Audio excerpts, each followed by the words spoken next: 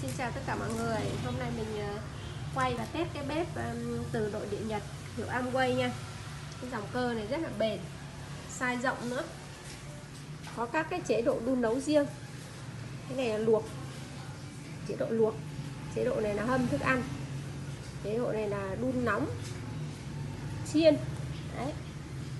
Bây giờ mình đặt một cái nồi lên, thử ha cơ thì mình sẽ mở ở đây. Đây này, cơ này, ngay chỗ này là tắt này chữ này chữ tắt này, đấy. Chế độ này chế độ nhỏ này. Trung bình này. Mạnh này. Có ba cái mức và hiển thị cái số. Đây mình sẽ để cái chế độ trung bình ha. Để to nó đã sôi đấy thì ở đây mình sẽ chọn chọn một cái nút này mình nấu bình thường thôi.